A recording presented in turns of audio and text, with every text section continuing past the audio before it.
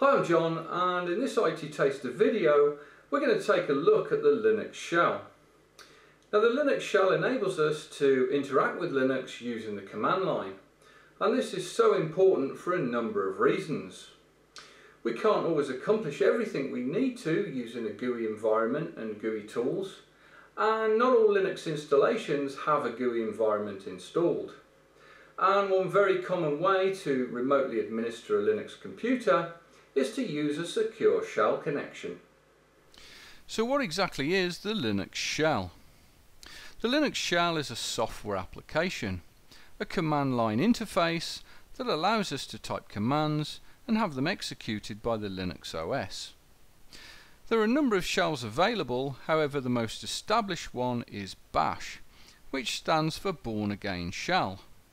And this is what the shell looks like if you're not running a GUI. However, for this video I'm going to launch a GUI environment and run things from there. Okay, we're now running a GUI and we're able to access the shell from within the GUI environment by using a terminal emulator. A terminal emulator is a software application that allows a shell to be run inside it. But it's important not to confuse the terminal emulator and the shell. They are different things. So I'm going to click on the terminal emulator icon to launch it. Now there are lots of different terminal emulators available in Linux and the one I'm using is called GNOME Terminal. A terminal emulator like this one also allows you to make your own configuration changes and customizations. You can do things like choose your font, font size and specify colors for the font and also the background which can prove extremely useful. Now when we launch a terminal session we're presented with a text-based interface and a prompt, a shell prompt. The shell prompt tells us some useful information.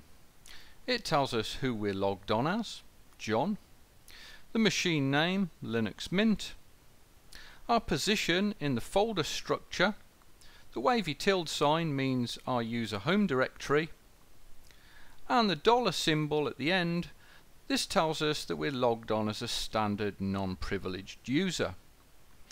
If the prompt displays a hash symbol instead of a dollar sign that tells us we're logged in as a super user. Think of the super user as the equivalent of an administrator in Windows. At this point it's worth mentioning that Linux is sensitive to case, so it's important to pay attention when entering commands and switches, as well as when you're working with things like files and folders. Okay, we're now ready to begin using the shell. And I'm going to start by entering a command called uname. The uname command returns information about the computer system. And if I hit return, it tells us we're running a Linux kernel. But if we want to learn more about a command and how to use it, all we need to do is type the command name, for example uname, followed by a space, two hyphens, and the word help, and hit return. And this will display help options.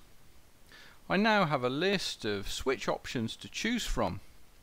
So now if I type the command uname again, followed by a space, and let's say for example I'd like to know the kernel name, we can see from the list this is minus s, and I'd also like to know the kernel version, which is minus v. And if I hit return, this displays the kernel name and the kernel version. Alternatively, we can type uname again, followed by a space. And this time, if we type the option minus A and hit return, this displays all system information. So the help switch provides us with a useful way to learn more about commands and how to use them. Now in addition to the help switch, there's another method we can use to learn more information about commands. Linux commands usually have manual pages or man pages as they're known and these display more detailed information about the command and its usage. To view a command's manual page, we simply need to type the word man followed by a space and the command name. And I'm going to do this for the uname command. Man space uname and hit return. And we can scroll through the manual page by using the up and down arrow keys. We're able to view a brief description of the command. We can also see the switches that we can use with the command. And if we go down to the very bottom, we can also see other related commands. To exit the man page, all we need to do is hit Q to quit. So there are two very useful methods of learning more about commands when we're working within the shell environment. I'm now going to type the command clear and hit return to clear the shell window. The next thing I want to show you is command history, which is another really useful facility. Command line history enables us to reuse commands we've previously typed by scrolling back through them. And this is done by using the up and down arrow keys. If I press the up arrow key, this takes me back through the commands I've previously entered. And we can see things like the clear command and the man command the uname command and so on that we used earlier. If we want to run a command again, we simply press enter. Or if we want, we can modify a command.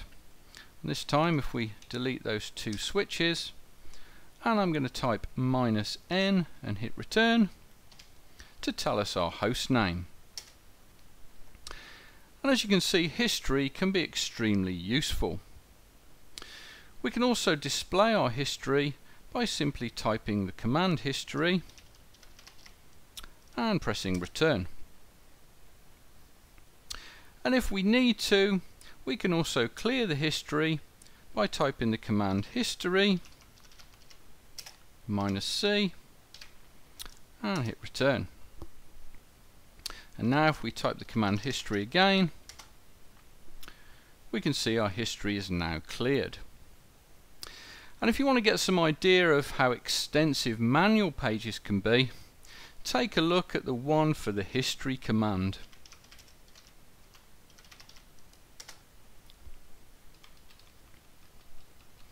As you can see, it's pretty extensive. Okay, I'm going to clear the terminal and let's press on. Okay, the next thing I want to show you is another really useful feature which is file name completion.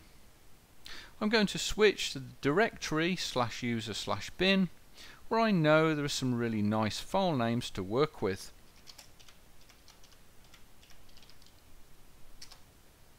And I'm going to list the directory contents that begin with the letter M because I know a long file name that will be a good example. Now let's say I want to display the attributes of one of the really long file names. For example, mdm-dmx-reconnect-proxy. I'm going to type the ls command, the list command, followed by a space and the minus l switch, followed by another space, and watch what happens when I type the first letter of the file name I'm interested in, which is the letter M and I then press the tab key to auto-complete.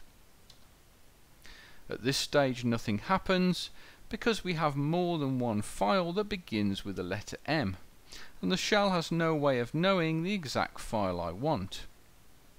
If I now type mdm hyphen and press tab again nothing happens because we have more than one file beginning with mdm hyphen. But if I hit the tab key a second time, the shell will show us possibilities, narrowing things down. And you can do this at any stage.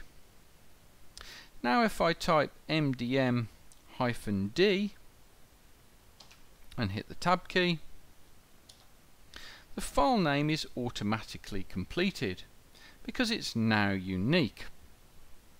And if I hit return, our command is now executed. And as you can see, and as you use Linux more, you'll find this is something that can save a great deal of time. Okay, let's clear the shell window because I want to move on and talk about something called pipes. Pipes add even more functionality by extending what we can do with commands in the shell. Pipes allow us to join commands together by taking the output of one command and redirecting it to the input of another command. And this is done by using the pipe operator, which is the vertical bar character normally found above the backslash. So let's take a look at an example. I'm going to use the list command, ls, and I'm going to add the minus "-l" switch to list this directory's contents in long listing format. Now if I hit enter at this stage, everything whizzes by very fast. I could of course scroll back, but instead I can use a simple pipe here.